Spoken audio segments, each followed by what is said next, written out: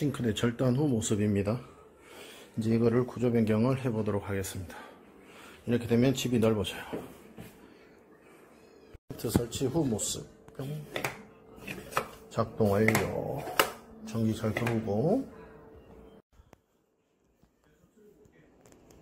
주방 리폼 후 모습입니다. 근데 왜 계좌번호가 자꾸 917하고 나오죠? 010 48